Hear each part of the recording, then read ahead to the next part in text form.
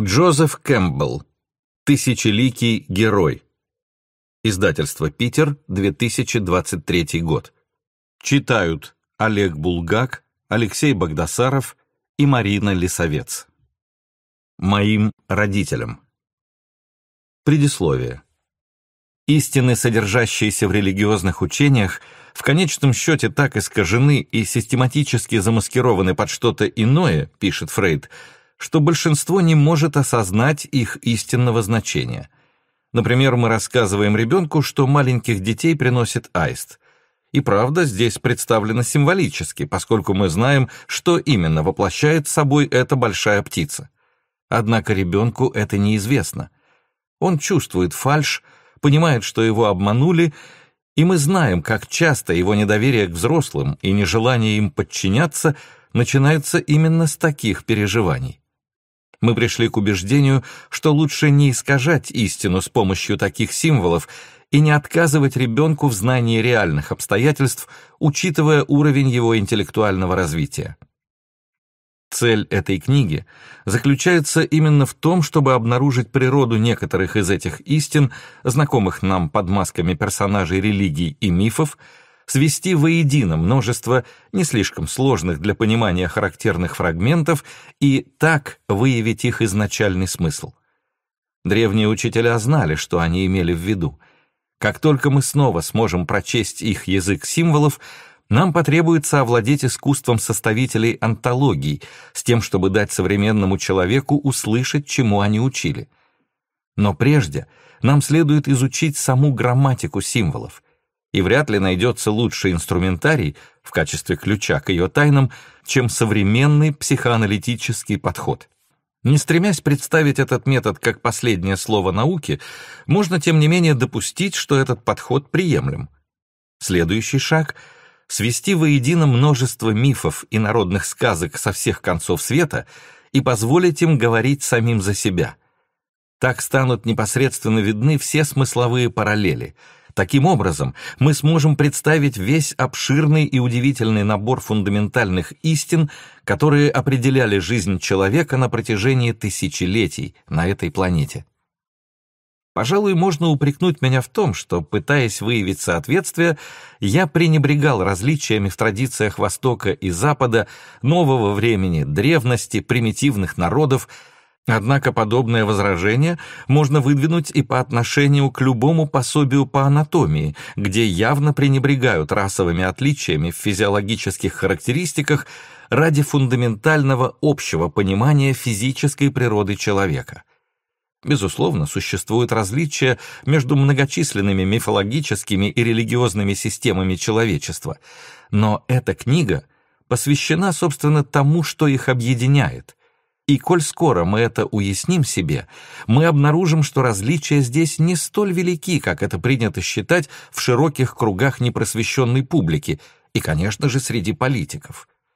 Я надеюсь, что такого рода сравнительное исследование внесет свой вклад в не совсем, пожалуй, безнадежное дело тех конструктивных сил, которые стараются объединить современный мир — не ради построения империи, основанной на единой религии или политических принципах, а ради понимания между людьми. Как гласят Веды, истина одна, мудрецы говорят о ней, используя многие имена. Я бы хотел выразить признательность господину Генри Мортону Робинсону, чьи советы во многом помогли мне на начальной и заключительной стадиях многотрудной работы, связанной с приведением собранных мною материалов в удобочитаемую форму, а также госпоже Питер Джейджер, госпоже Маргарет Уинг и госпоже Хелен Макмастер за их бесценные предложения после многократного чтения моих рукописей. И, наконец, моей супруге — которая работала рядом со мной с первого до последнего дня, слушая, читая и редактируя написанное. Нью-Йорк, 10 июня 1948 года, Джозеф Кэмпбелл. Пролог. Мономиф. Раздел 1. Миф и сновидение. Когда мы высокомерно наблюдаем за красноглазым шаманом из Конго в разгар ритуала, или получаем изысканное наслаждение от чтения утонченных переводов загадочных стихов Лао Цзы, когда пытаемся вникнуть в сложную аргументацию Фомы Аквинского или внезапно улавливаем смысл причудливой эскимосской сказки, всегда мы встречаем одну и ту же, изменчивую по форме, но все же на удивление постоянную историю, и вместе с тем один и тот же вызывающий настойчивый намек на то, что неизведанное, где-то ждущее нас, много больше, чем когда-либо можно будет познать и поведать миру. Везде, где ступала нога человека, всегда и в любых обстоятельствах люди создавали мифы как живое воплощение работы человеческого тела и духа. Не будет преувеличением сказать, что миф — это чудесный канал, по которому оплодотворяют человеческую культуру во всех ее проявлениях неистощимые потоки энергии космоса. Религии, философии, искусства, формы социальной организации первобытного и исторического человека, открытия в науке и технике и сами сновидения, вспышками врывающиеся в наш сон — все это зарождается в изначальном магическом круге мифа. Просто удивительно, что самая незатейливая детская сказка обладает особой силой затрагивать и вдохновлять глубокие пласты творчества, подобно тому, как капля воды сохраняет вкус океана, а яйцо блохи вмещает в себе все таинство жизни. Ибо мифологические символы не рождаются сами по себе. Их нельзя вызывать к жизни волей разума, изобретать и безнаказанно подавлять, они представляют собой спонтанный продукт психики, и каждый из них несет в зародыше нетронутой всю силу своих первоисточников. В чем кроется тайна этого неподвластного времени видения? В каких глубинах мозга оно зарождается? Почему мифы везде одни и те же, в какие бы одежды они ни рядились? И в чем их смысл? Многие отрасли науки пытались ответить на этот вопрос — Археологи ищут ответ на раскопах в Ираке, на Крите и в Юкатане. Этнологи собирают информацию у хантов на берегах Аби и африканских племен Буби, живущих в долинах Фернандо-По. Новое поколение востоковедов недавно обнаружило священные тексты Востока, а также источники священного писания, созданные в доиудейскую эпоху а другая группа целеустремленных исследователей-этнопсихологов еще в прошлом столетии пыталась ответить на вопрос о психологических истоках языка, мифов, религии, искусства в их развитии, норм морали. Самые удивительные сведения мы получили благодаря исследованиям психиатров – Смелые и поистине эпохальные работы психоаналитиков незаменимы для изучающего мифологию, ибо, как бы мы ни оспаривали детали их подчас противоречивых толкований конкретных случаев и проблем, Фрейд, Юнг и их последователи неопровержимо продемонстрировали, что логика мифа, его герои и их деяния актуальны и по сей день. В отсутствие общезначимой мифологии каждый из нас имеет свой собственный, непризнанный, рудиментарный, но тем не менее подспудно действующий пантеон сновидений. Новейшее воплощение Эдипа и персонажи нескончаемой любовной истории красавицы и чудовища стоят сегодня на углу 42-й улицы и 5-й авеню, ожидая, когда сменится сигнал светофора. «Мне приснилось», написал молодой американец автору одной из газетных колонок, что я ремонтирую крышу своего дома. Вдруг я слышу, как снизу меня зовет отец. Я быстро поворачиваюсь, прислушиваясь. Вдруг роняю молоток, он выскальзывает у меня из рук, скатывается с крыши и падает вниз. Потом глухой звук, словно кто-то упал. В крайнем испуге я спускаюсь по лестнице — и вижу отца, который лежит на земле с окровавленной головой. Вне себя от горя я зову мать. Она выходит ко мне, обнимает и говорит, «Не надо так, сынок. Это просто несчастный случай. Ты не виноват. Ты же будешь заботиться обо мне, даже если отца уже нет». Она целует меня, и я просыпаюсь. Я старший из детей. Мне двадцать три. Уже год, как я ушел от жены, что-то у нас не сложилось. Очень люблю и отца, и мать. и единственные разногласия, которые у меня возникали с отцом, были по поводу жены, потому что он настойчиво советовал мне вернуться к ней, а я понимаю, что несчастлив с ней. И так оно и будет. Этот пример показывает, как мужчина, не состоявшийся как муж, наивно признается в том, что вместо того, чтобы попытаться наладить свою семейную жизнь, он в глубине души все еще пребывает в заколдованном трагикомическом треугольнике своего детского мира, где сын и отец соперничают за любовь матери. Из всех животных мы дольше всех остаемся у материнской груди, и это определяет наиболее постоянные характеристики человеческой души — Человек рождается слишком хрупким и уязвимым. Он еще не готов встретиться с миром лицом к лицу. Именно мать защищает его от всех опасностей, своей заботой продлевая покой, который ребенок испытывал в период своего внутриутробного развития. Именно потому ребенок и мать составляют единое целое, пережив травму рождения, и физиологически, и психологически. Младенец переживает беспокойство, если матери долго нет рядом, и в результате у него развивается импульс агрессии. Если мать не разрешает ему чего-то, это также вызывает его агрессию. Таким образом, первый объект враждебности и первый объект любви ребенка — это один и тот же человек.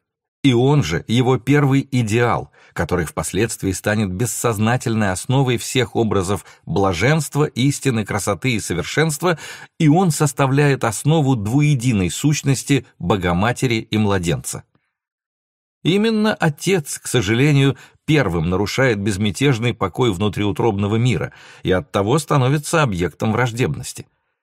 Агрессия, которая предназначена дурной или отсутствующей матери, выливается на него, но при этом влечение к доброй матери-кормилице, хорошей и заботливой, сохраняется.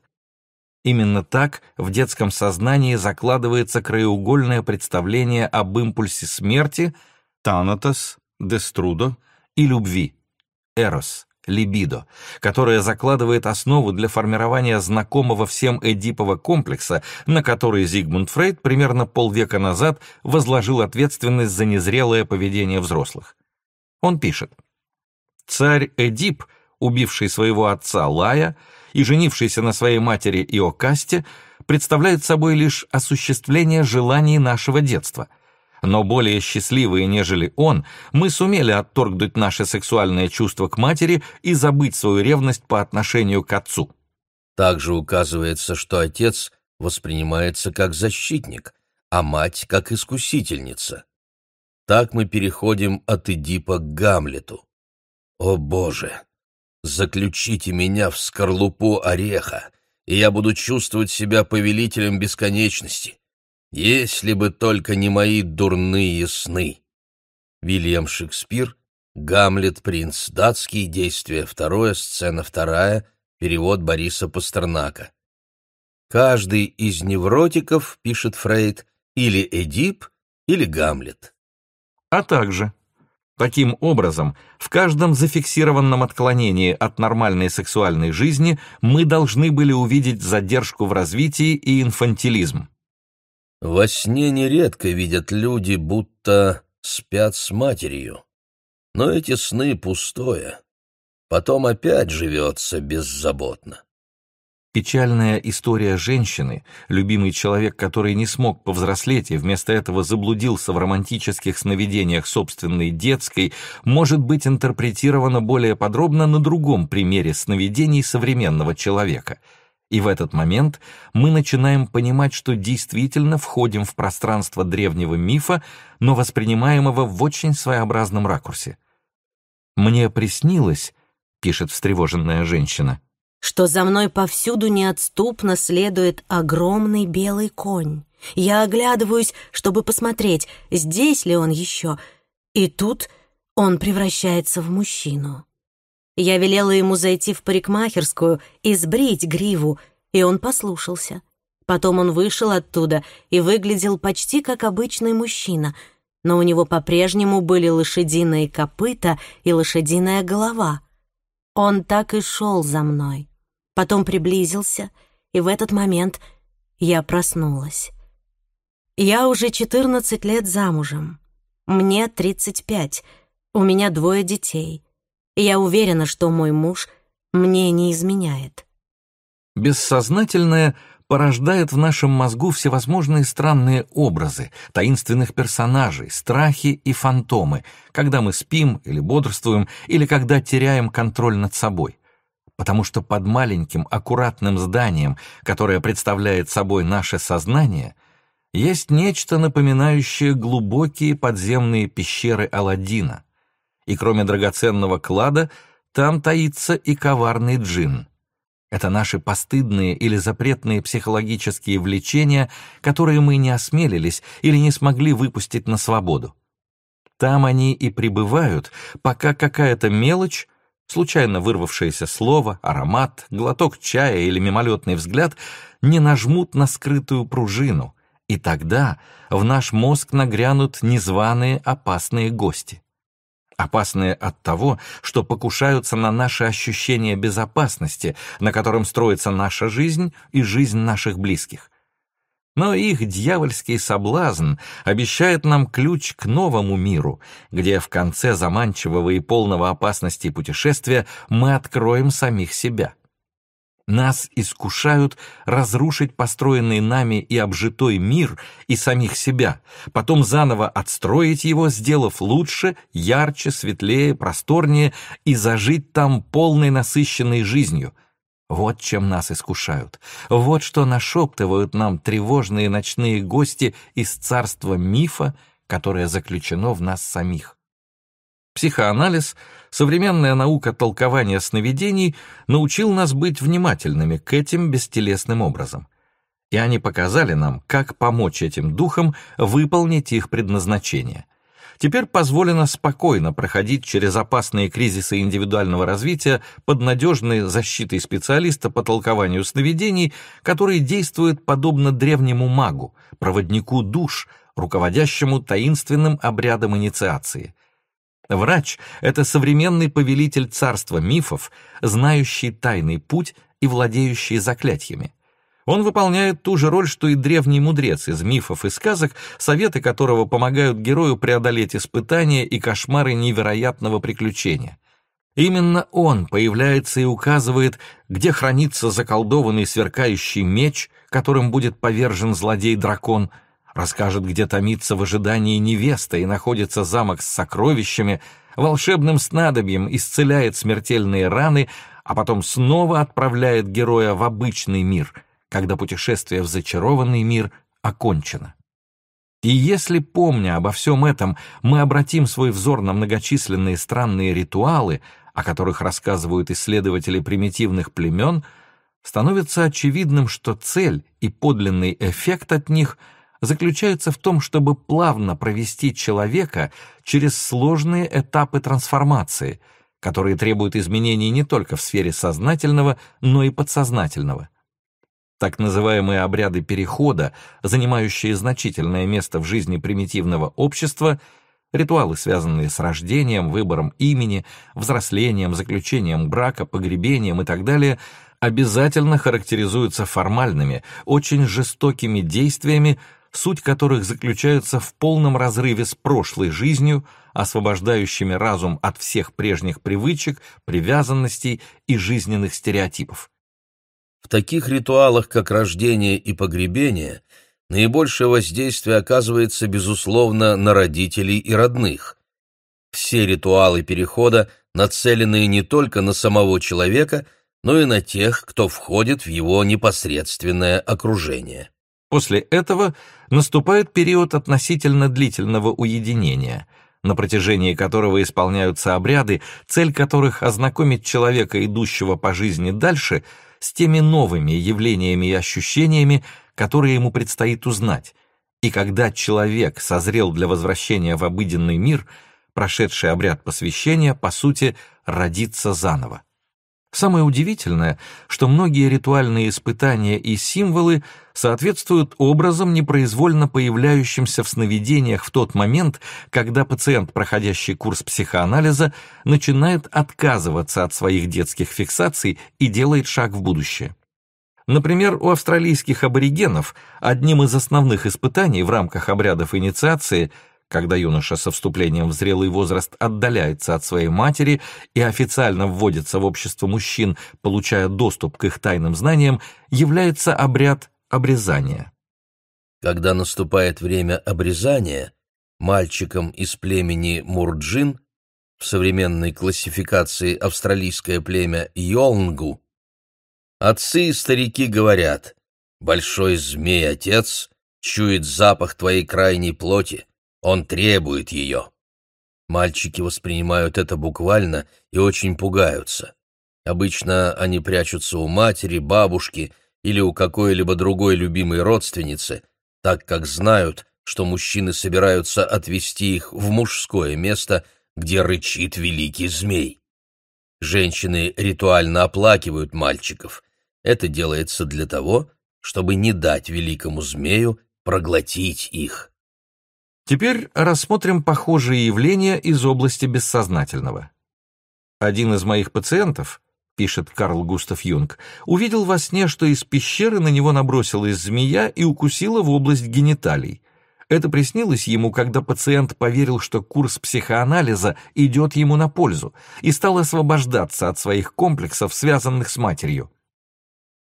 Самая важная функция мифа и ритуала — с помощью символов увлечь человеческий дух вперед, противостоять тем привычным человеческим представлениям, которые привязывают нас к прошлому. В действительности, высокий уровень невротических расстройств в наше время вполне может быть обусловлен тем, что мы все меньше и меньше получаем духовную защиту и опору. Мы остаемся привязанными к нереализованным фантазмам нашего детства и оттого оказываемся не готовы к необходимому переходу к состоянию зрелости. В США существует совершенно противоположная тенденция, направленная на то, чтобы не взрослеть, а напротив, пребывать в состоянии вечной юности, не отдаляться с наступлением зрелости от матери, а оставаться с ней. Поэтому мужья, став юристами, коммерсантами или руководителями, выполнив волю родителей, все еще поклоняются своим мальчишеским идолам – а в это время их жены, даже после 14 лет семейной жизни, родив и воспитав чудесных детишек, все еще ищут любви, которая может прийти к ним только в образе кентавров, селенов, фавнов и других похотливых демонов из свиты Пана, как во втором из выше приведенных снов, либо в образе слащавых киногероев в современных святилищах сладострастия. И вот наступает черед психоаналитика, который должен возродить проверенную временем мудрость древних учений, обращенных в будущее, носителями которых были пляшущие шаманы в масках и совершающие обряд обрезания колдуны. И вот мы видим, как в сновидении с укусом змеи, что снова сам собой оживает древний символизм инициации в сознании постепенно излечивающегося пациента. Очевидно, в этих образах инициации существует нечто настолько необходимое для психики человека, что если они не привносятся извне, через миф и обряд, то сами заявляют о себе изнутри, в сновидении. Иначе наша сила навсегда останется пылиться в заброшенной детской или канет на дно морское. Зигмунд Фрейд обращает особое внимание на переходные периоды и трудности первой половины человеческой жизни — кризисы младенческого и подросткового возраста, когда восходит солнце нашей жизни. А Карл Густав Юнг обратил внимание на переломные моменты второй половины жизни, когда для того, чтобы двигаться дальше, лучезарное светило должно подчиниться необходимости опускаться за горизонт и, наконец, исчезнуть в ночном могильном сумраке. Обычные символы наших стремлений и страхов трансформируются в собственные противоположности — потому что в это время уже не жизнь, а смерть бросает нам вызов. В это время сложно покинуть не лона, а фаллос, если, конечно же, сердце еще не охватило усталость от жизни, когда не любовь юных дней, а смерть сулит нам блаженство. Мы проходим полный жизненный цикл от покоя в утробе к покою смерти. Неясное, загадочное вторжение в мир физической материи, которое скоро с нас спадет — рассеявшись как сон. И оглядываясь назад, на манившие нас когда-то невероятные, непредсказуемые и опасные приключения, мы видим, все, что мы приобрели к концу пути, Это ряд стандартных превращений, через которые прошли все мужчины и женщины на свете, во всех уголках мира, во все времена и во всех самых невероятных обличьях, которые создавали цивилизации. Например, есть легенда о Великом Миносе, царе островной империи Крит в период ее расцвета. В ней говорится, что Минос нанял известного искусного мастера Дедала, чтобы тот придумал и построил для него лабиринт, где можно было бы спрятать нечто жуткое и постыдное для царской семьи, потому что в его дворце жило чудовище, которое родила царица Пасифая. Легенда гласит, что в то время как Минос вел войну, защищая свои торговые пути, Пасифая согрешила с прекрасным снежно-белым, рожденным в море быком — Собственно, она согрешила не больше, чем мать Миноса, Европа, которую, как известно, на Крит в обличье быка перенес бог Зевс. И от этого благородного союза родился сам Минос, которого все уважали и слушались. Откуда же было знать Пасифае, что плодом ее прегрешения станет чудовище, сын с человеческим телом, но головой и хвостом быка? Общество яростно осуждало царицу, но и царь чувствовал свою долю вины. Очень давно бык этот был послан богом Посейдоном, когда Минос еще оспаривал у своих братьев право на престол. Минос заявил свои права на трон, данные богом, и обратился к нему с просьбой дать знак своего расположения — морского быка, дав клятву немедленно принести животное в жертву в качестве подношения богу и символа своей преданности. Бык явился, и Минос взошел на престол — но когда он увидел, как красив посланный ему бык, какое это прекрасное и редкое животное, и как замечательно было бы оставить его у себя, то поторгашески схитрил и заменил жертвенное животное, возложив на алтарь Посейдона другого лучшего белого быка из своего стада, а подаренного оставил себе. Империя острова Крит достигла расцвета в период правления этого благоразумного прославленного царя, который был воплощением общепризнанных добродетелей. Столица Крита, город Кнос, стал роскошным, изысканным центром главной торговой империи во всем цивилизованном мире. Корабли Критского флота достигали всех островов и портов Средиземноморья. Критские товары ценились в Вавилонии и Египте – Некоторые храбрые корабли даже осмеливались выйти через Геркулесовы столбы в открытый океан, затем на север, стремясь завладеть золотом Ирландии или оловом Корнуэлла.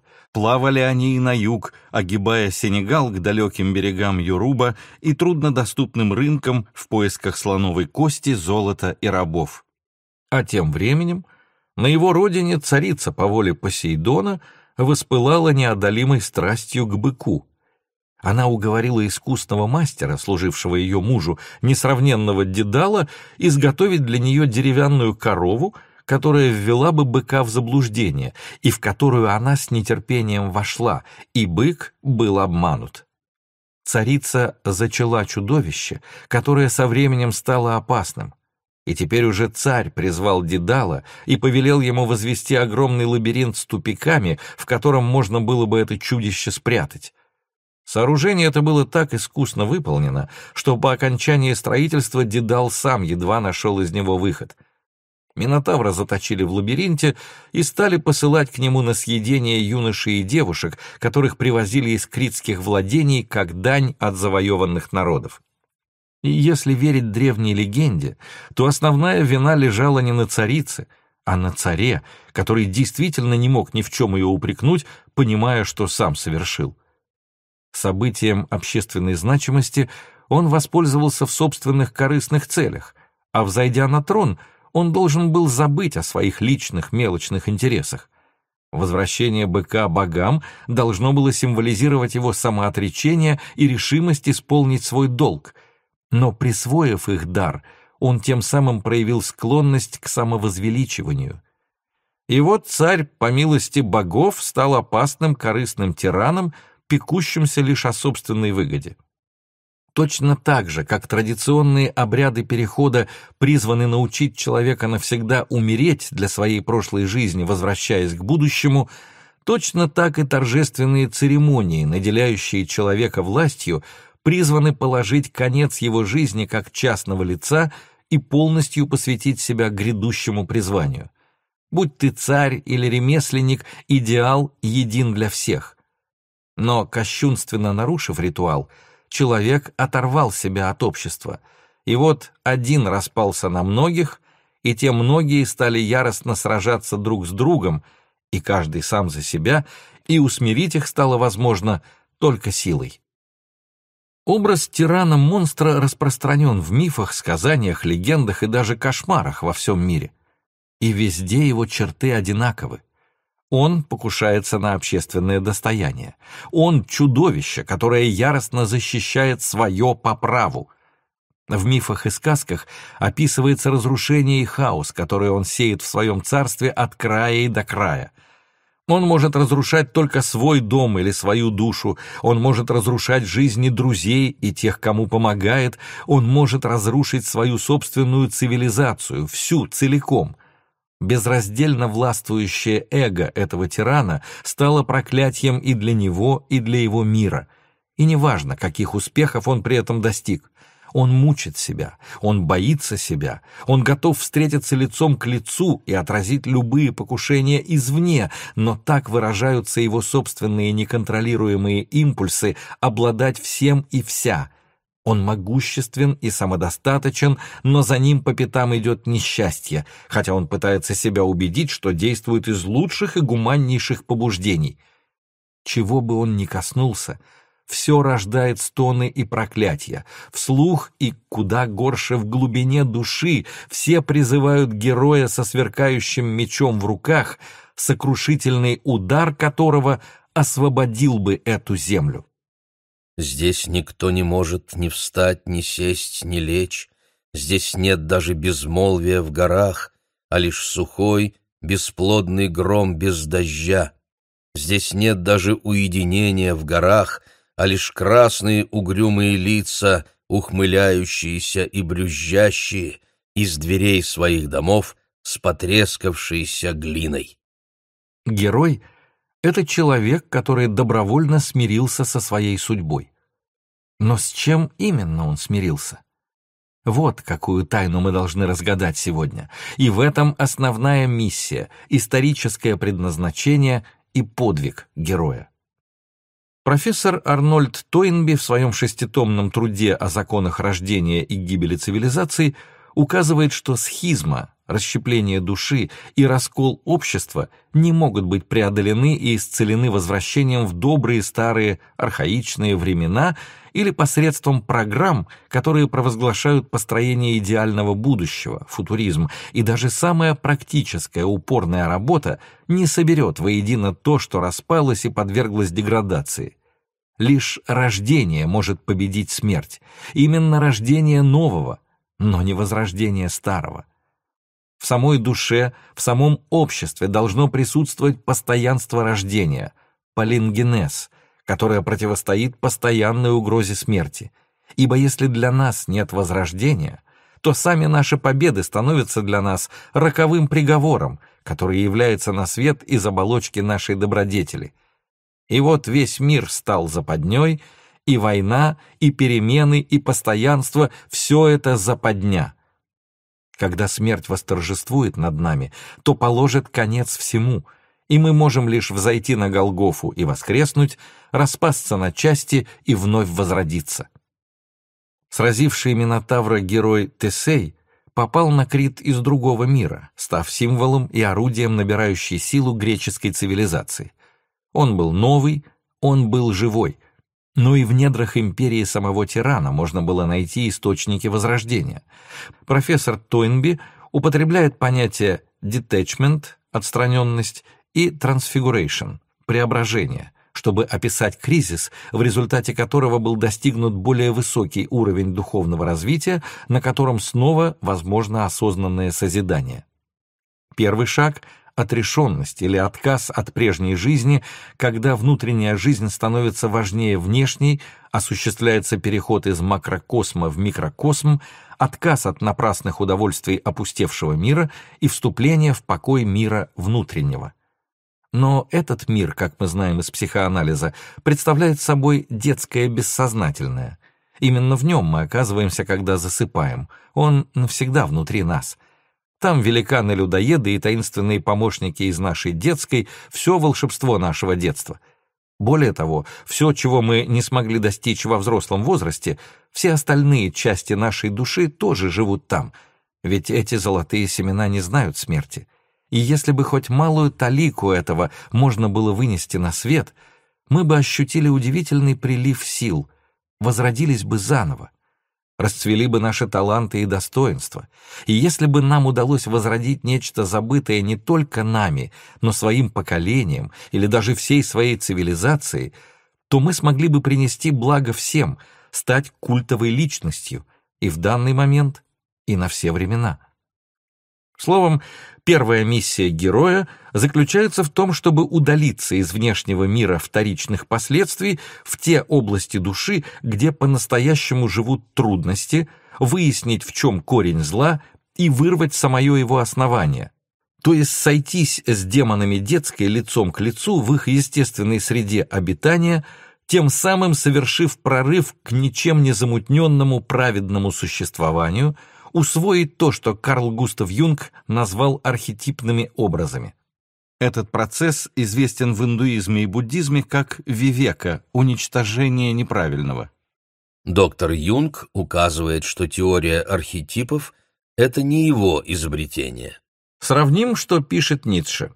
Во сне и в мечтах мы преодолеваем расстояние, которое прошло человечество за весь период своего развития – я имею в виду следующее. Человек в своих мечтах рассуждает так же, как он рассуждал наяву тысячи лет назад.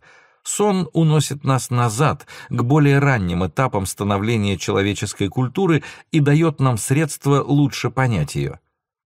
Сравним с этнической теорией элементарных идей Адольфа Бастиана, которые в отношении своих базовых психических составляющих – соответствующих понятию стоиков семенные логосы, должны рассматриваться как духовные или психические зачаточные предрасположенности, на основе которых постепенно развивалась вся социальная структура общества, и которые, как таковые, должны служить основой для индуктивных исследований.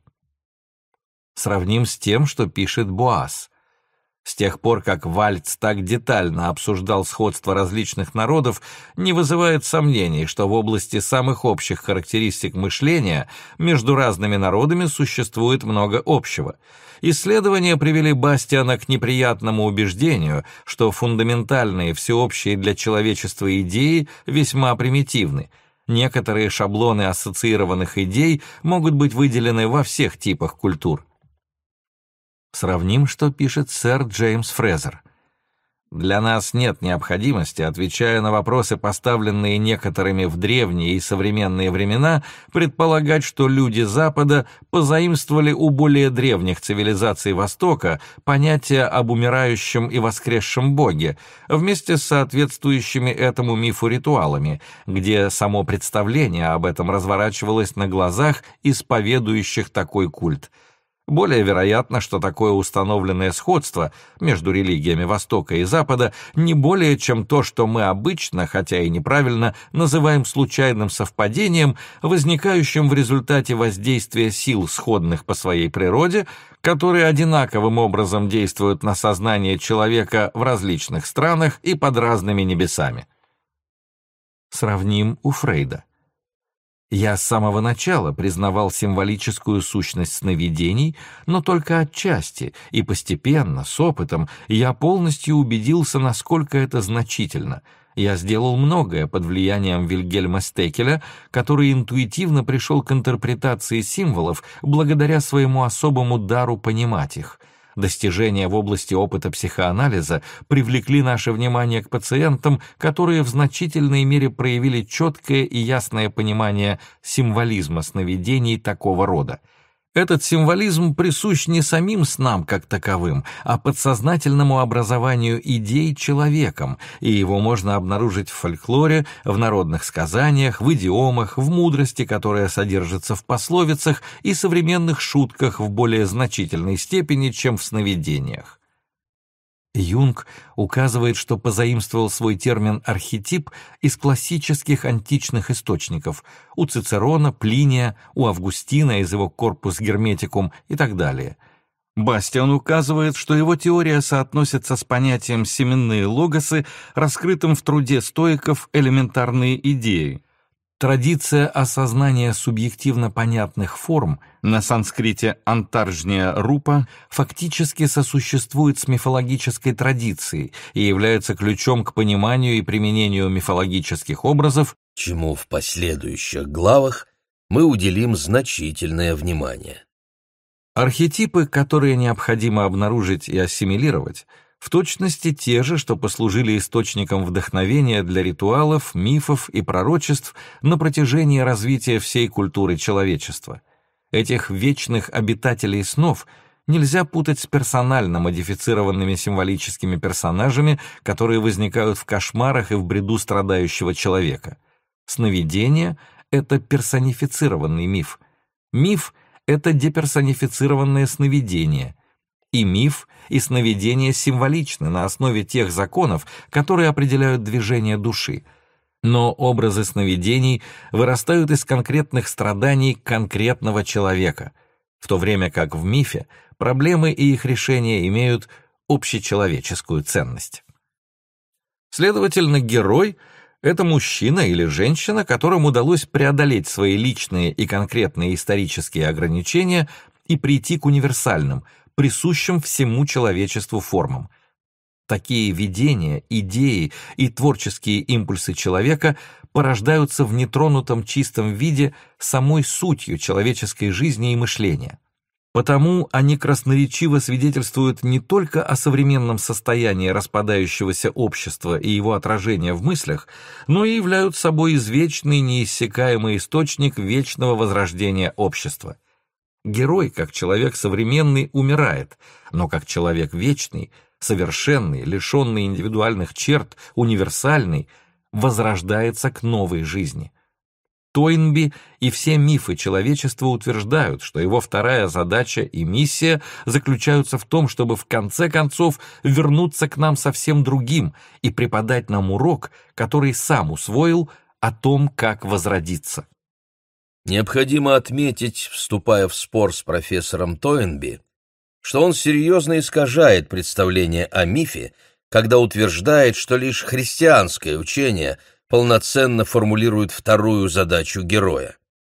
Все религии учат этому, все мифы и фольклорные произведения. Профессор Тойнби заблуждается в результате своей неверной трактовки понятий «путь» и «нирвана», «Будда» и «Бодхисаттва». Он противопоставляет эти идеи друг другу, давая им неверную трактовку, усложняя интерпретацию христианского понятия «град Господень».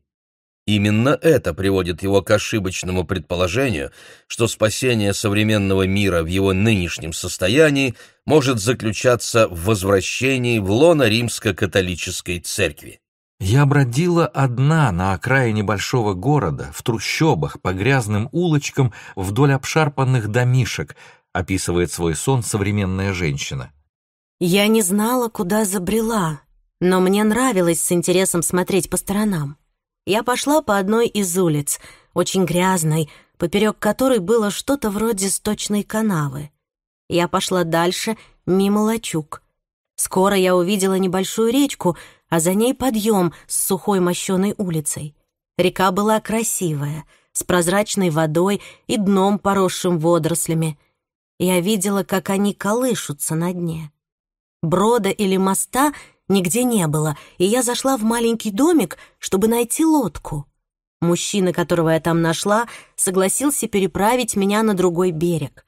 Он вынес небольшой деревянный ящик и поставил его у самой воды, и я сразу поняла, что с помощью этого ящика смогу легко перебраться на другой берег. Я почувствовала себя вне опасности, и мне хотелось отблагодарить этого человека. Размышляя об этом сне, я отчетливо чувствую, что у меня не было никакой причины ходить туда и что я могла бы выбрать прогулку по улице. Я отправилась в эти трущобы в поисках приключений. И раз уж я на это решилась, нужно было продолжать свой путь.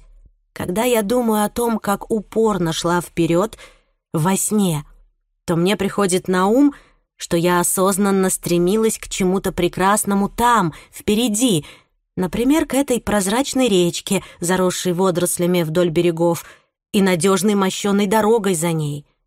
Если рассуждать с этой точки зрения, то это наводит на мысль о том, что это как решение родиться или возродиться в духовном, нравственном смысле этого слова. Возможно, многим из нас стоит пройти мрачный, извилистый путь, чтобы выйти к чистой, спокойной реке или найти свою дорогу в жизни.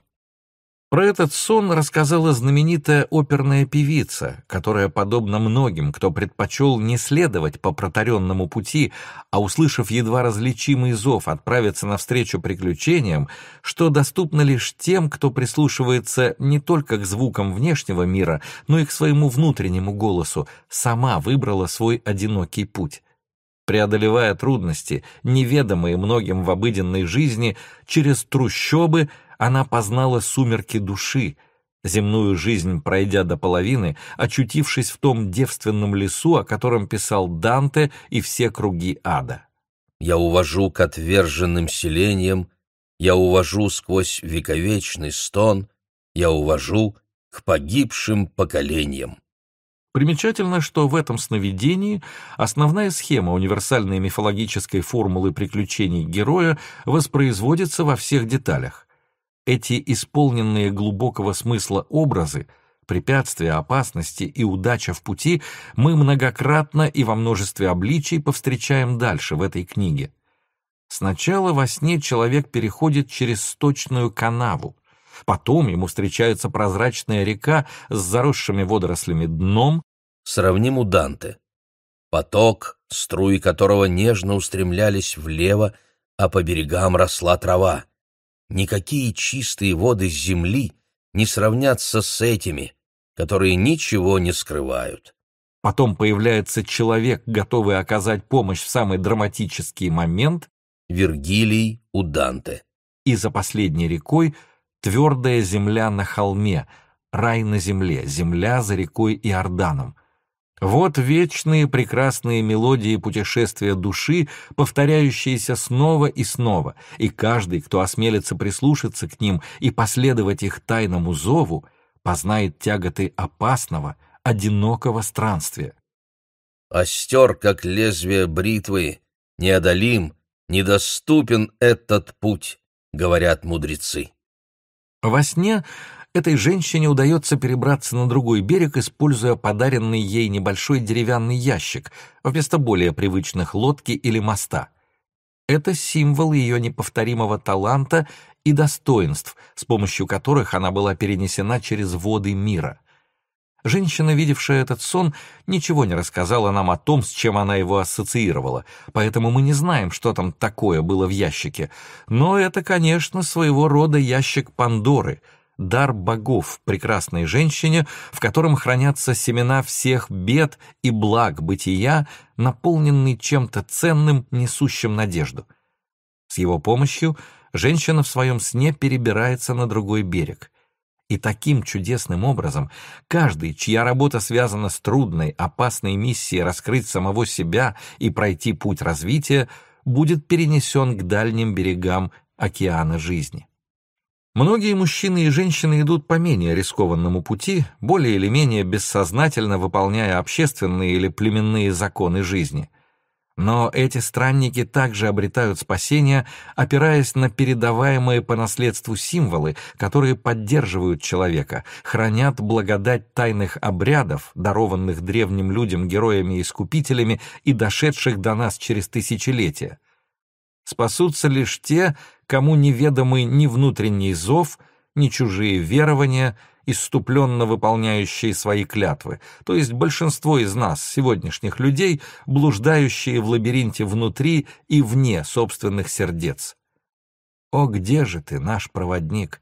Где наша возлюбленная Ариадна? Дай же нам эту тонкую нить, что наполнит нас силой, чтобы встретиться лицом к лицу с Минотавром и надежду снова выйти на волю после того, как чудовище будет обнаружено и повержено.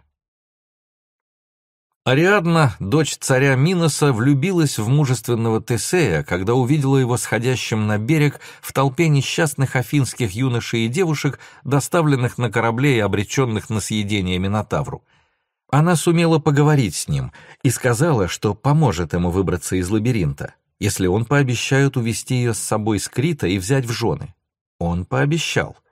Тогда Ариадна обратилась за помощью к мастеру Дедалу, который искусно построил этот лабиринт и помог матери Ариадны спрятать рожденное ею чудовище. Дедал дал девушке клубок простой льняной нити, которую отправившийся в лабиринт герой должен был привязать у входа в лабиринт и разматывать, когда отправится вглубь. Какая мелочь! Но без этого в лабиринте спасения нет. То немногое, что нам нужно, совсем рядом — только руку протяни. Примечательно, что тот же самый мастер, что на службе преступного царя охотно замыслил ужасы лабиринта, также охотно готов послужить спасению из него. Но в помощь ему сердце героя — на протяжении веков Дедал был символом творческой личности и ученого, воплощая собой необычайное, почти дьявольское равнодушие личности, игнорирующей нормы общественной морали и подчиняющегося не ей, а лишь своему творчеству. Такой герой следует по пути мысли. Он открыт, бесстрашен и убежден в том, что истина, к которой он стремится, освободит нас всех. Итак, мы можем, подобно Ариадне, обратиться к нему за помощью. Лен для своей путеводной нити он собрал на полях человеческого воображения. Потребовались многие столетия землепашества, десятилетия селекции, работа физическая и духовная, чтобы спрясть эту тугую нить. А нам можно даже не рисковать, отправляясь в этот путь в одиночку, ведь до нас этот путь проделали герои прежних дней — этот лабиринт детально изучен. Нам остается лишь следовать за путеводной нитью, что указывает герою путь. Где мы опасались обнаружить мерзость и ужас, мы найдем Бога. Там, где мы рассчитывали вырваться на волю, мы попадем в самое средоточие собственного существования. Где думали остаться в одиночестве, мы воссоединимся со всеми людьми. Раздел 2. Трагедия и комедия. Все счастливые семьи похожи друг на друга. Каждая несчастливая семья несчастлива по-своему.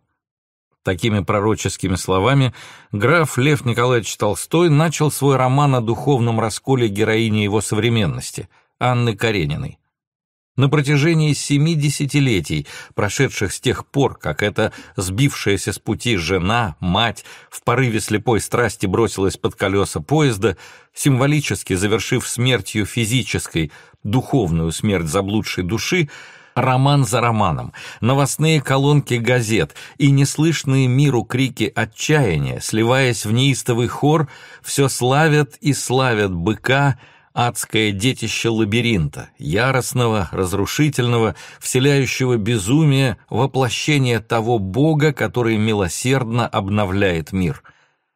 Современные романтические истории, как и греческая трагедия, воспевают таинство расчленения, благодаря которому жизнь продолжается. Счастливый конец вызывает справедливое презрение, потому что он вводит нас в заблуждение, ибо известный и видимый нам мир — приведет нас лишь к одному концу — к смерти, разрушению, расчленению и невыразимым душевным страданиям после того, как этот мир покинут те, кого мы любим. Жалость — это чувство, которое охватывает наш разум в присутствии всего, что составляет глубокий и неприходящий смысл человеческих страданий, приобщая нас к страдающему человеку. Ужас — это чувство, которое охватывает разум, также в присутствии всего того, что составляет глубокий и неприходящий смысл человеческих страданий, приобщая нас к скрытой причине. Как отмечал Гильберт Мюррей в своем предисловии к английскому переводу поэтики Аристотеля, трагический катарсис очищение или обновление эмоций зрителя трагедии посредством переживания жалости или ужаса соответствует прежнему ритуальному катарсису, очищению общины от скверны пороков прошедшего года, от скверны греха и смерти, функцию которого выполняли празднества и мистерии с расчленением бога-быка Диониса. Медитирующий разум во время мистерии сливается не с бренным, которое публично умерщвляется, а с вечным началом жизни, которое временно пребывало в этом теле, представляла собой реальность в ложном обличье, воплощая страдающее существо и тайную причину, субстрат, в котором растворяются наши личности, когда трагедия, что разбивает лицо человека, разбила вдребезги, расколола и окончательно разрушила нашу бренную оболочку. «Быком обернись ты, наш вак, наш бог, явись многоглавым драконом, и львом золотистым ты в очи метнись. Это гибель наших логических и эмоциональных связей с судьбоносным моментом нашей жизни, единственным и неповторимым во времени и пространстве.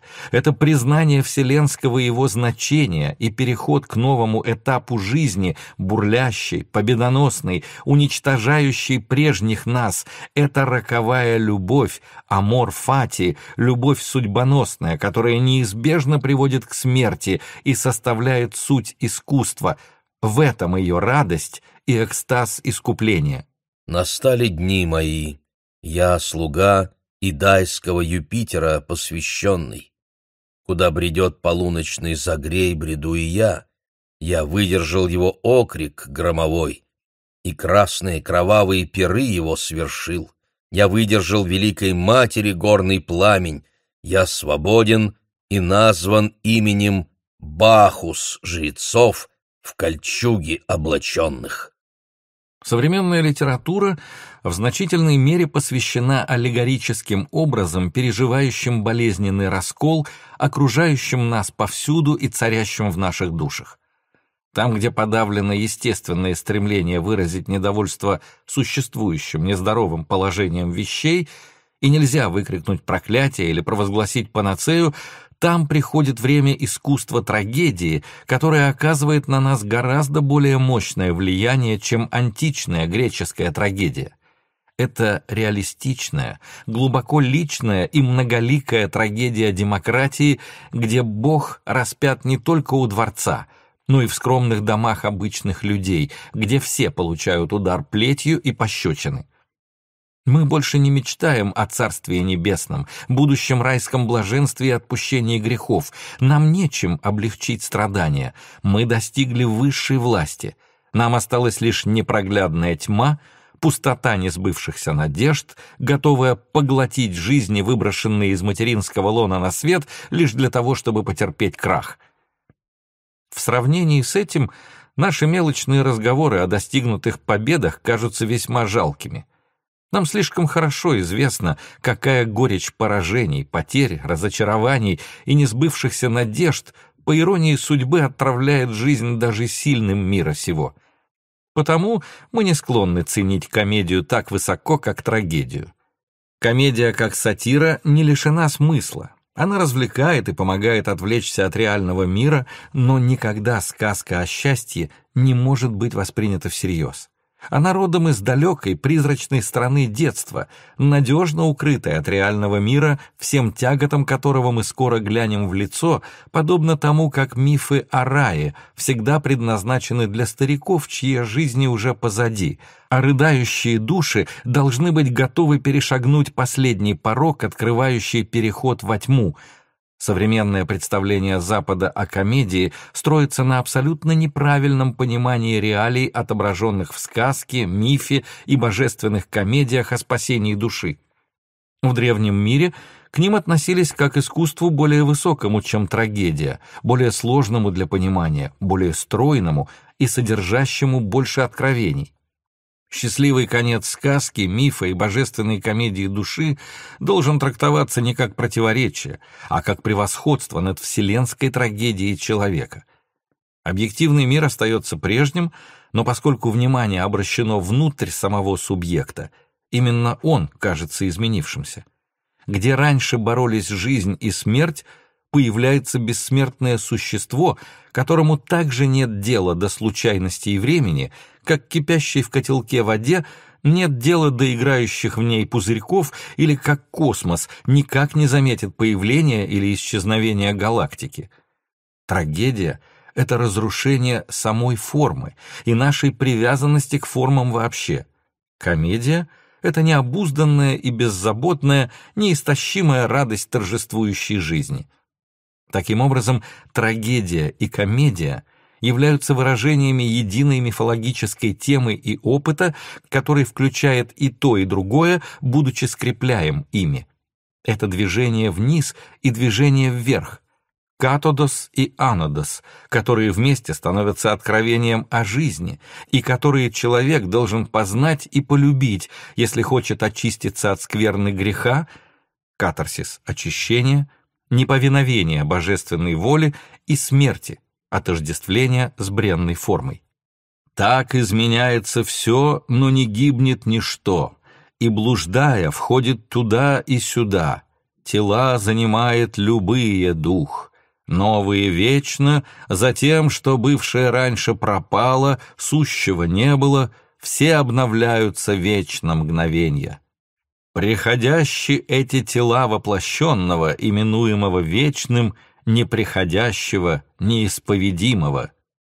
Миссия истинного мифа и сказки в том и состоит, чтобы поведать истину об опасностях темного внутреннего перехода от трагедии к комедии и о том, как их преодолеть.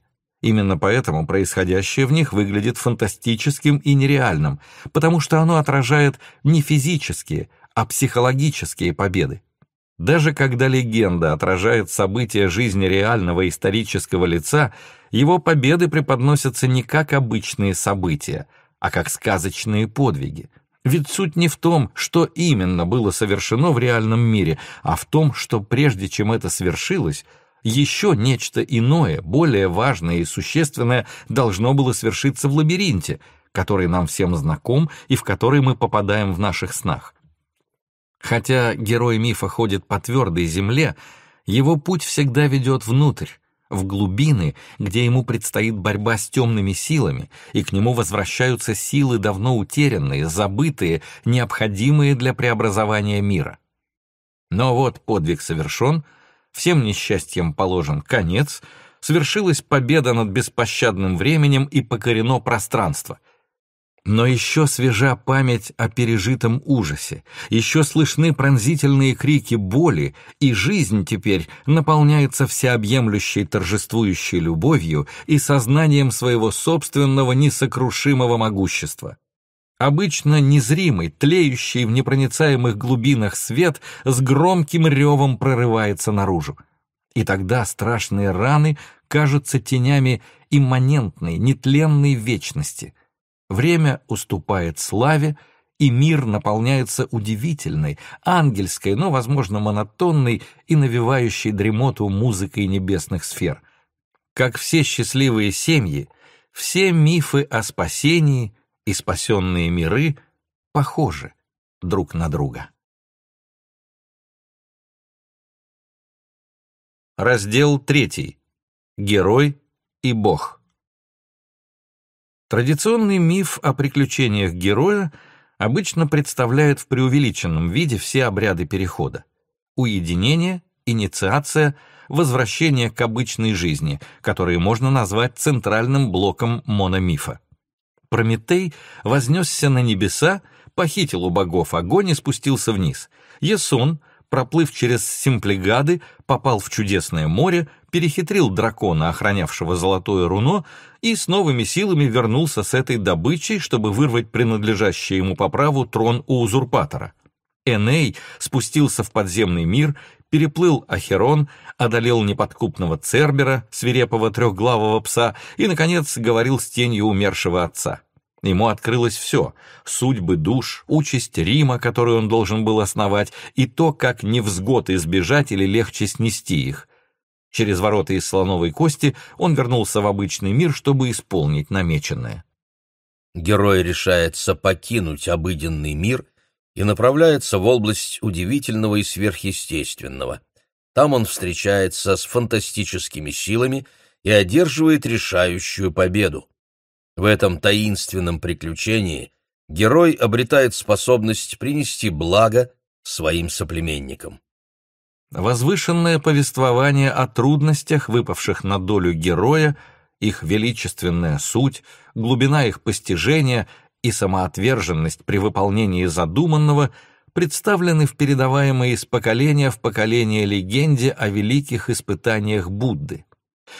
Молодой принц Гаутама Шакьямуни тайком покинул дворец своего отца, чудом миновал на великолепном коне Кантака охраняемые ворота и поскакал в ночь при свете факелов четырежды шестидесяти тысяч богов, легко преодолел величавую реку шириной в одиннадцать сотен и двадцать восемь локтей, а затем одним взмахом меча срезал свои королевские локоны, а оставшиеся волосы длиной в два пальца завелись вправо и плотно обвили его голову. Облачившись в монашеские одежды, он отправился странствовать в облике нищего, и за годы этого, на первый взгляд, бесцельного скитания постиг и прошел восемь стадий медитации. Он жил как отшельник еще шесть лет и, стремясь к великой цели, дошел до высшей степени аскезы. И, казалось, пришла его смерть, но он вскоре воскрес и вернулся к менее суровой жизни странствующего аскета. Однажды, сидя под деревом, он созерцал восточную часть света, и вдруг дерево озарилось сиянием явилась юная девушка по имени Суджата и поднесла ему молочный рис в золотой чаше. Когда Будда бросил пустую чашу в реку, та поплыла вверх против течения в знак того, что он приближается к своей цели. Он поднялся и направился по дороге, проложенной богами, ширина которой была одиннадцать сотен и двадцать восемь локтей. Змеи, птицы, лесные и полевые божества приветствовали его цветами и райским благоуханием. Звучала музыка небесного хора. Десять тысяч миров были наполнены благоуханиями, гирляндами цветов, гармонией, ибо он был на пути к великому дереву просветления, дереву Бодхи, под которым он должен был принести освобождение этому миру. С решительным намерением он расположился под деревом Бодхи в месте покоя, и тут же перед ним возник Камамара, бог любви и смерти. Грозный тысячерукий бог явился верхом на слоне, и в каждой руке держал оружие. На двенадцать лик перед ним простиралась его армия, на двенадцать лик влево и на двенадцать вправо от него, а позади него до самой границы мира, и на девять лик в высоту. Боги, защитники Вселенной, начали сражение. Но будущий Будда сидел неподвижно под деревом. И тогда Бог устремился к нему, стремясь нарушить его сосредоточенность. Просветление Будды — это центральный момент в восточной мифологии. Такой же важный, как распятие Христа в западном мире. Будда под деревом просветления, деревом Бодхи — и Христос на Святом Кресте, древе искупления людских грехов, это аналогичные фигуры, воплощающие образ Спасителя и мотив мирового древа, один из древнейших символов с незапамятных времен. В последующих эпизодах мифа можно найти много вариантов событий. Место покоя и гора Голгофа являются образами сердцевины мира, мировой оси призыв к земле стать свидетельницей происходящего в традиционном искусстве буддизма представлен в виде Будды, положившего на правое колено правую руку с пальцами, слегка касающимися земли.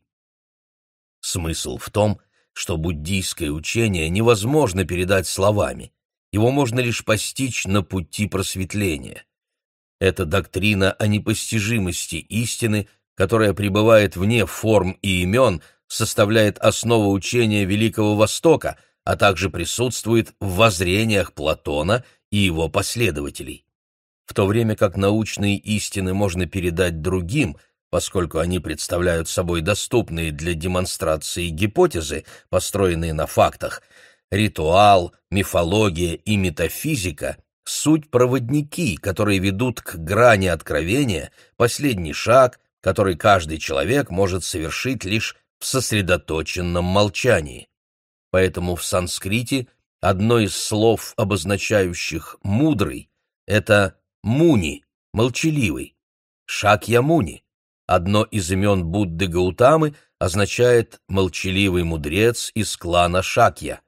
Хотя он и является основателем одной из главных в мире религий, главное в ней остается скрытым и постигается в молчании. Противник обрушил на спасителя смерчи, камни, громы и молнии, дымящееся оружие с острыми лезвиями, горящие уголья, горячий пепел, кипящую грязь, обжигающие пески и четырехкратную тьму. Но все брошенное против него превращалось силой десяти совершенств Гаутамы в небесные цветы и благовония. Тогда Мара послал против него своих дочерей — желание, томление и вожделение, окруженных внушающей сладострастные желания свитой, но им также не удалось отвлечь разум великого сущего. Наконец, утверждая свое право сидеть вместе покоя, этот бог в гневе метнул острый, как лезвие бритвы, диск и приказал своему устрашающему войску забросать его горными утесами. Но будущий Будда лишь двинул своей рукой, чтобы коснуться кончиками пальцев земли, призывая таким образом богиню земли засвидетельствовать его право сидеть там, где он сидит. И та откликнулась сотней, тысячью, сотней тысяч громов. И вот слон противника пал на колени в почтительном поклоне перед будущим Буддой. Армия тут же рассеялась, и боги всех миров осыпали его гирляндами цветов. Одержав эту победу перед заходом солнца, победитель в первую ночную стражу обрел знание своих прошлых жизней, во вторую стражу — божественное око всеведущего видения и в последнюю стражу — понимание цепи причинности. С приходом рассвета он испытал полное просветление. Затем — Семь дней Гаутама, теперь уже Будда, просветленный, сидел в блаженной неподвижности. Семь дней стоял он в стороне, созерцая место, где обрел просветление. Семь дней ходил он между тем местом, где сидел, и тем, где стоял. Семь дней пребывал он в шатре, воздвигнутом богами, и обдумывал учение о причинах всего сущего и избавления от страданий — Семь дней сидел он под деревом, где девушка Суджата поднесла ему молочный рис в золотой чаше и медитировал о доктрине блаженства нирваны. Он перешел к другому дереву, и страшная буря бушевала семь дней, но из корней дерева явился царь-змей и защитил Будду, развернув свой капюшон. И, наконец, семь дней Будда просидел под четвертым деревом, все еще предаваясь блаженству освобождения от страданий. Затем он усомнился в том, что сможет передать свое откровение другим, и подумал, не оставить ли мудрость в себе. Но с небес снизошел бог Брахма и просил его стать учителем богов и людей. Так Будда приблизился к тому, чтобы проповедовать учение о пути. И тогда он отправился обратно в города, к людям, где проповедовал им о том, что есть путь. Ветхий Завет повествует о похожем эпизоде в легенде о Моисее, который в третий месяц после исхода сыновей Израиля из земли египетской пришел с народом своим в Синайскую пустыню, и там сыны Израиля разбили лагерь против горы. И взошел Моисей на гору, и воззвал к нему Господь с горы. Господь дал ему каменные скрижали закона, повелев Моисею вернуться с ними к сынам Израиля, избранному Богом народу. Еврейская народная легенда гласит, что в день этого откровения с горы Синай доносились раскаты грома. Вспышки молний, сопровождаемые нарастающим трубным глазом, повергли народ в сильный трепет и страх. Бог склонил к земле небеса, привел в движение землю и потряс границы мира, так что задрожали глубины и страх объял небеса. Его величие явилось через четыре портала — через огонь, землетрясение, бурю и град. Цари земли затрепетали в своих дворцах. Сама земля в страхе ждала уже начала воскресения мертвых, когда ей придется отвечать за кровь убиенных, что она впитала, и за тела умерщвленных, что она укрыла. Земля не успокоилась, пока не услышала первые слова десяти заповедей. Небеса разверзлись, и гора Синай, освободившись из земли, поднялась в воздух, так что ее вершина ушла в небо, касаясь подножия трона Господня, а ее склоны укрыло густое облако. Явился Бог, сопровождаемый по одну сторону двадцатью двумя тысячами ангелов с коронами для левитов, единственного рода, оставшегося верным Господу, в то время как остальные поклонялись золотому тельцу. По другую сторону от него стояли шестьдесят мириад три тысячи пятьсот пятьдесят ангелов, и каждый с огненной короной для каждого сына израильского народа. Вдвое большее число ангелов стояло по третью сторону, в то время как с четвертой стороны их было неисчислимое множество. Ибо Господь явился не с одной стороны, а сразу отовсюду одновременно, что, однако, не помешало и небесам, и земле преисполниться Его славы. Несмотря на эти несметные армады, на горе Синай не было толчии, не было столпотворения, места хватало всем.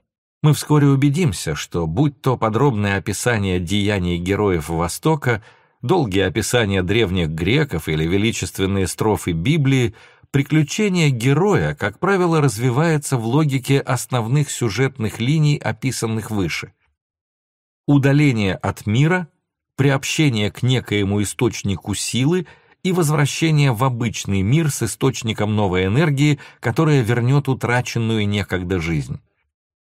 Гаутама Будда принес на восток благословенный дар, свое удивительное учение о законе добра точно так же, как Запад обрел заповеди Моисея.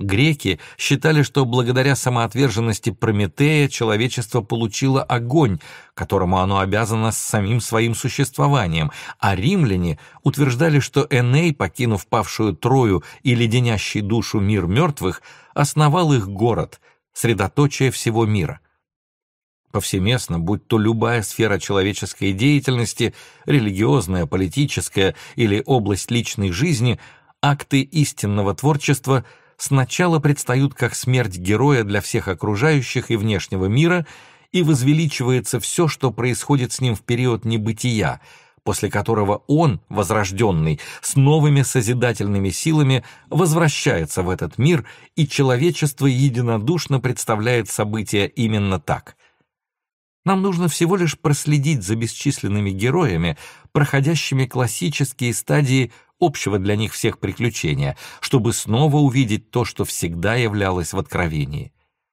Так мы сможем понять не только значение этих образов для современной жизни, но и единство человеческого духа в его стремлениях и превратностях, его силу и его мудрость.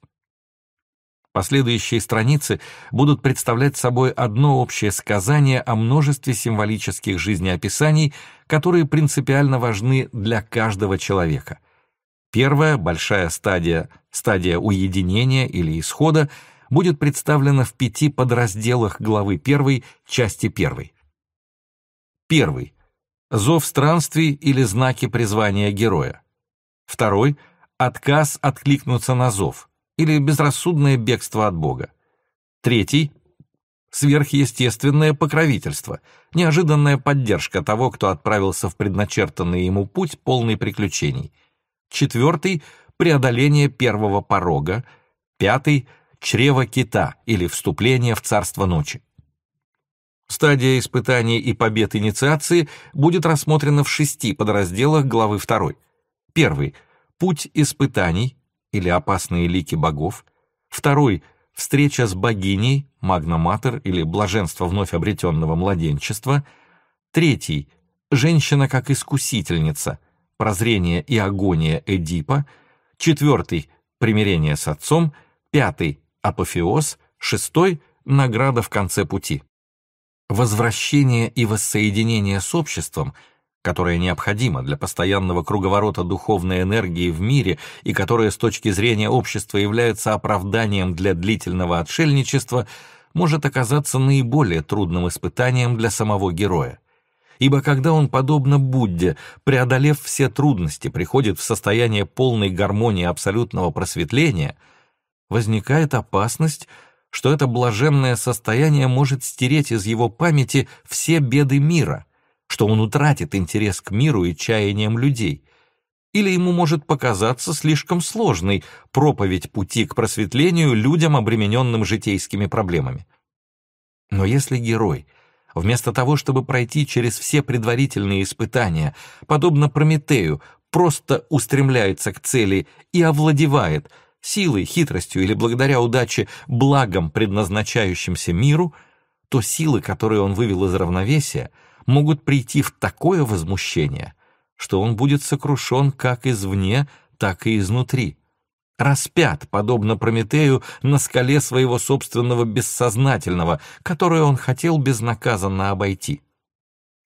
Герой может благополучно и добровольно вернуться в мир людей и встретить при этом абсолютное непонимание и равнодушие тех, кому он пришел на помощь, и потерпеть поражение.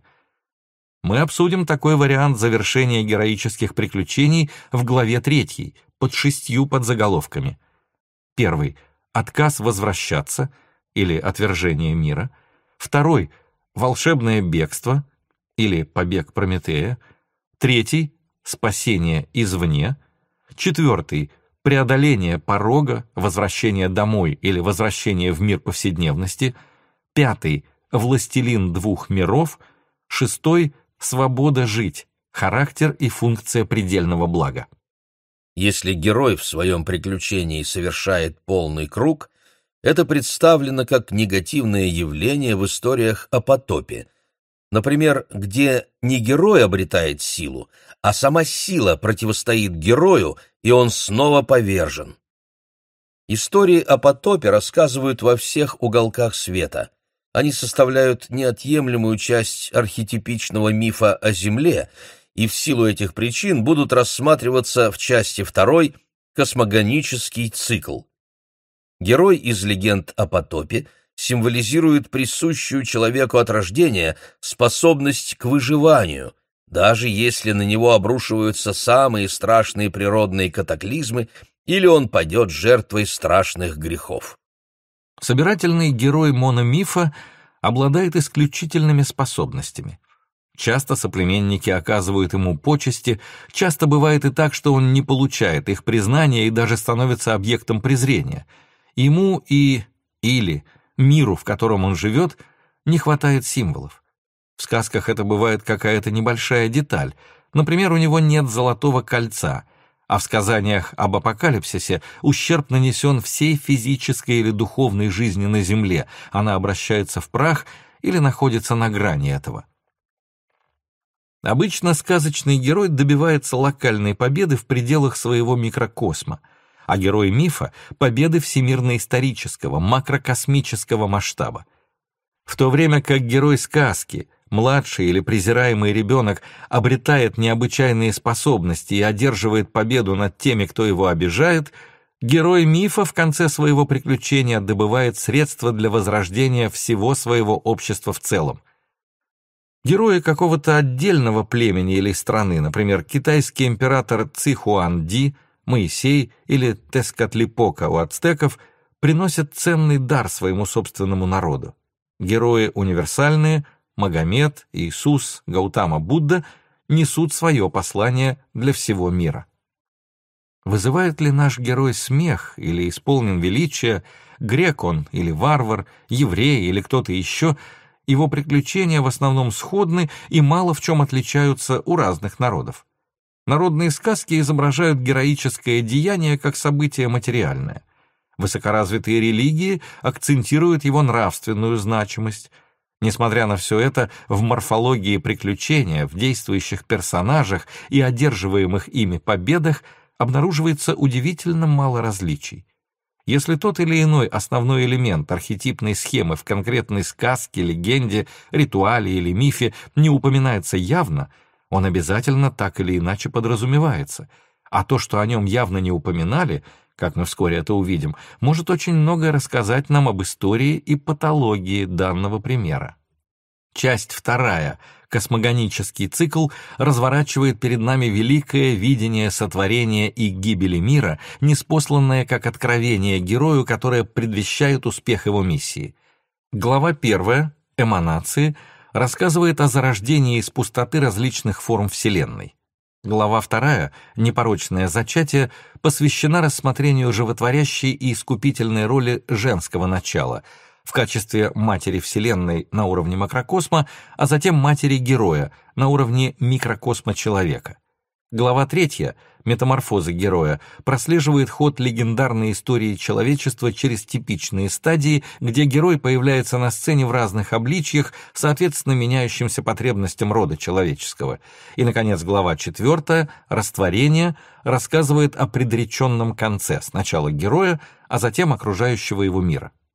Удивительно, как много общего в описании космогонического цикла в священных текстах разных континентов и приключения героя предстает в новом свете.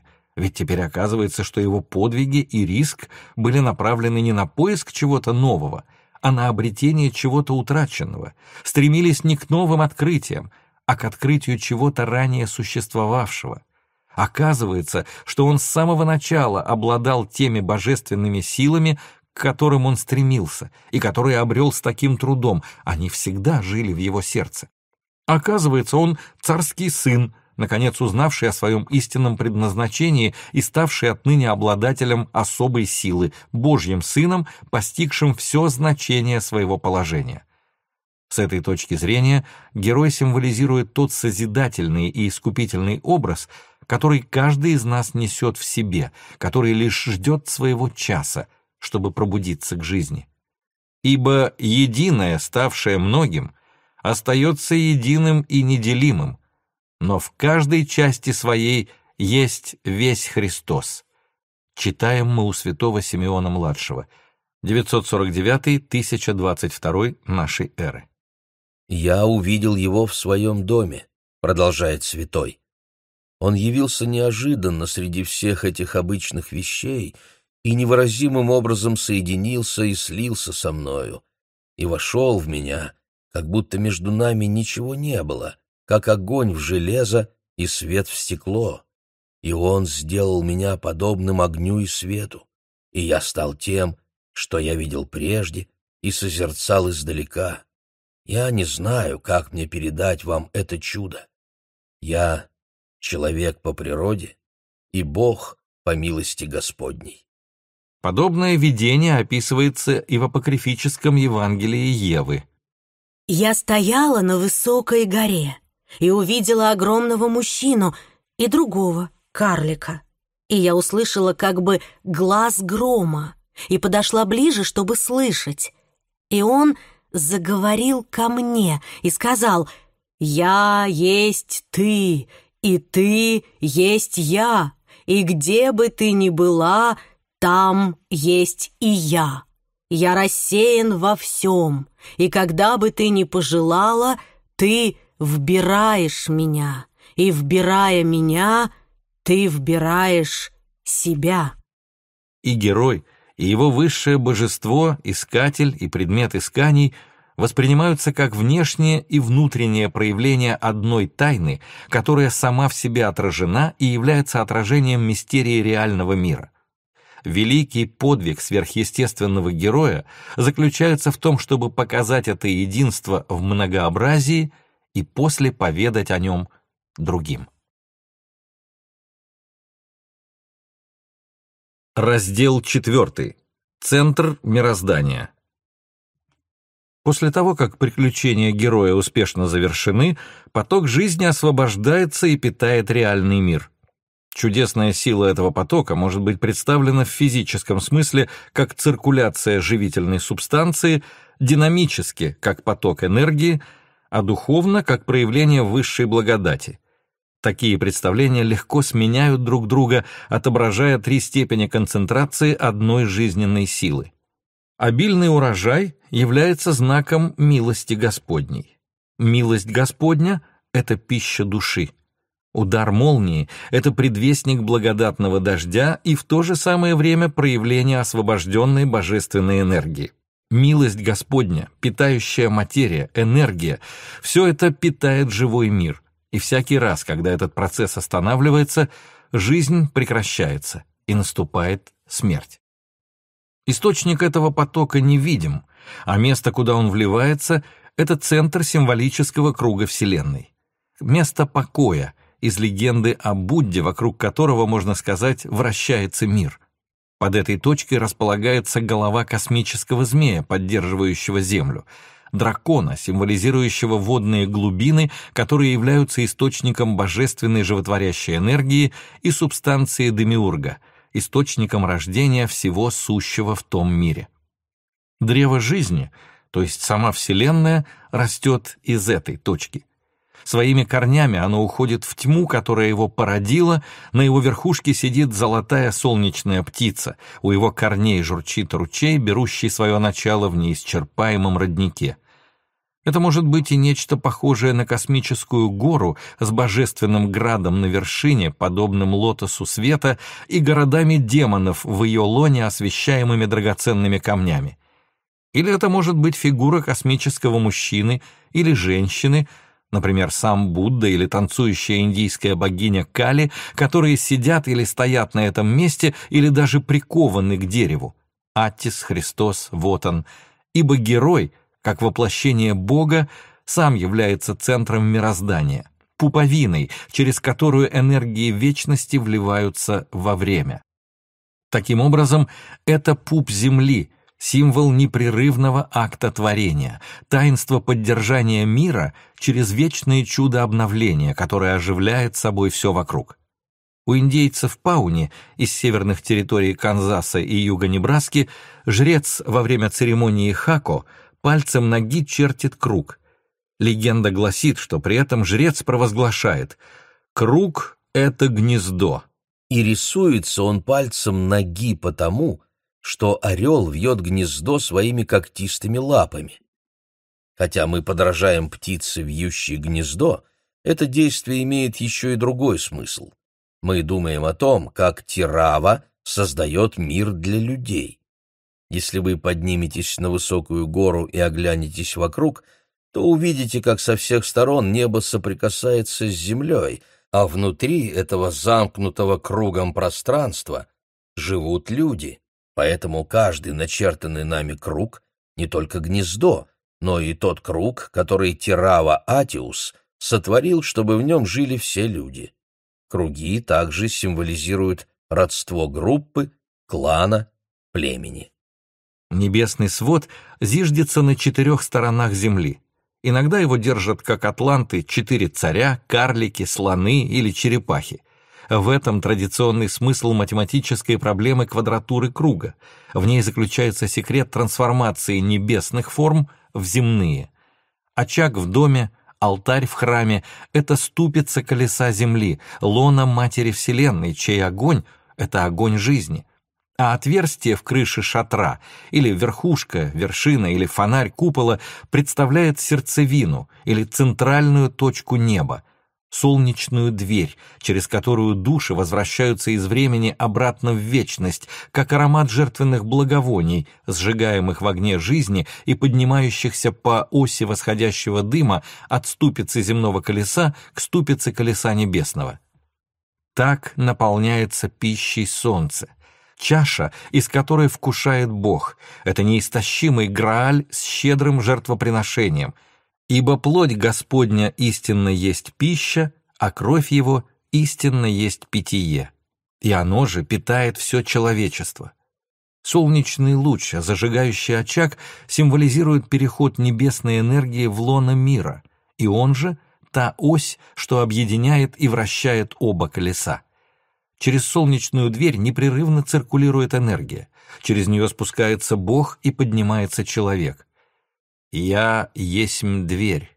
Кто войдет мною, тот спасется и войдет, и выйдет, и пажить найдет. Ядущий мою плоть и пьющий мою кровь пребывает во мне, и я в нем». Культура все чаще черпает источники силы в мифологии, и общая картина человеческой жизни, и каждый ее этап оживают благодаря намекам, которые заключаются в символах. В холмах и рощах обитают сверхъестественные стражи, знакомые по общеизвестным эпизодам истории сотворения мира, которые рассказываются в каждой конкретной местности.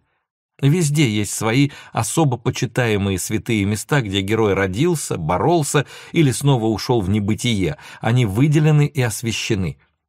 Там воздвигается храм, чтобы обозначить и вызвать чувство священного благоговения перед идеальным центром мироздания, ибо здесь и только здесь находится источник благополучия и процветания. Здесь открыли путь в вечность, поэтому само это место помогает медитировать. Как правило, конструкция таких храмов воспроизводит четыре стороны света, а святое место или алтарь, расположенные в центре, символизирует источник вечной энергии. Каждый входящий внутрь храма и приближающийся к святая святых символически воспроизводит подвиг истинного героя. В нем должна снова пробудиться сила, лежащая в центре мироздания и дарующая жизнь. Древние города построены как храмы. Их главные ворота ориентированы по четырем сторонам света, а в центре воздвигнуто главное святилище божественного основателя города. Жители города живут и трудятся в границах, заданных этим символом. Точно по такому же принципу в каждой из крупных мировых религий присутствует некий священный город-мать. Для западного христианства это Рим, для ислама — Мекка. Все мусульмане мира трижды в день совершают поклоны, направленные как спицы мирового колеса к центру, в котором размещается Кааба, образуя огромный живой символ подчинения, ислам, всех и каждого воле Аллаха. «Ибо именно Он, — читаем мы в Коране, — покажет тебе истину всего того, что ты делаешь». И вот что еще важно. Великий храм может быть воздвигнут где угодно — потому что в конечном итоге все пребывает повсюду, и любая точка может стать местом пребывания силы. В мифе любая травинка может принять образ Спасителя и провести ищущего странника в святая святых, его собственное сердце. Таким образом, центр мироздания можно найти везде. Он — источник всего сущего и в равной мере наполняет мир как добром, так и злом уродство и красота, грех и добродетель, удовольствие и боль — все это плоды его творения.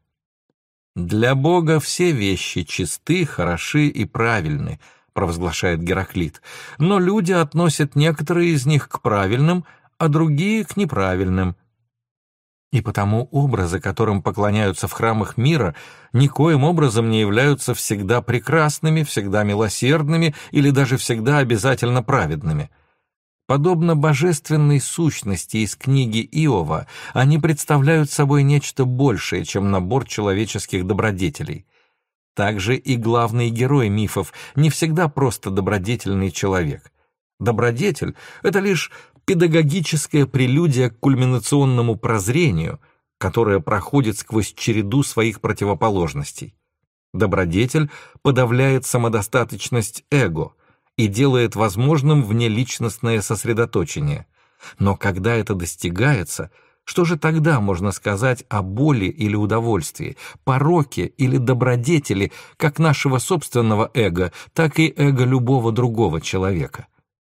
Трансцендентная сила постигается во всех жизненных проявлениях. Она вездесуща, прекрасна во всех проявлениях и достойна глубочайшего почитания ибо, как сказал Гераклит, непохожее сливается воедино, и из различий проистекает самая прекрасная гармония, и все сущее существует посредством борьбы.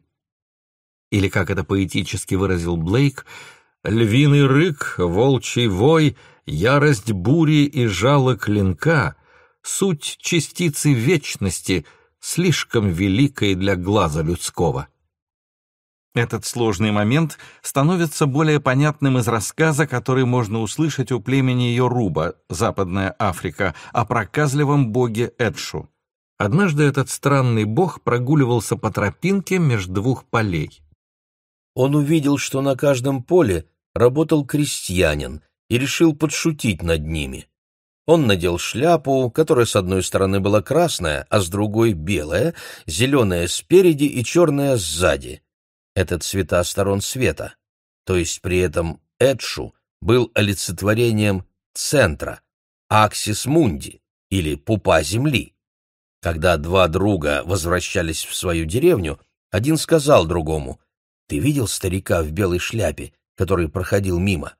Второй ответил, «Ты что, Шляпа была красной, на что первый возразил. «Нет, она была белой». «Красная она была», — упорствовал его друг. «Сам видел». «Да ты слепой», — заявил первый. «А ты должно быть пьян», — ответил другой, и они подрались. Когда в ход пошли ножи, соседи отвели спорящих к старости, чтобы тот рассудил их. Эдшу затесался в толпу, собравшуюся в ожидании решения, и когда староста не смог определить, на чьей стороне истина, старый ловкач вышел вперед, рассказал о своем розыгрыше и показал шляпу. «Эти двое не могли не поссориться», — сказал он. «Я этого и хотел. Сеять раздор — величайшая радость для меня». Там, где моралист был бы охвачен негодованием, а поэт-трагик — состраданием и ужасом, мифология все превращает в великую и ужасную божественную комедию.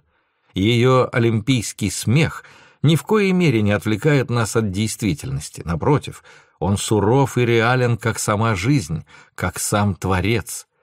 Преломляясь через призму мифа, трагедия предстает несколько истеричной. Сцены человеческих нравов примитивными. Но эта суровость оправдывается тем, что видимый нам мир является лишь отображением силы, которая, не зная страданий, продолжает действовать. Таким образом, сказки лишены и жалости, и ужаса.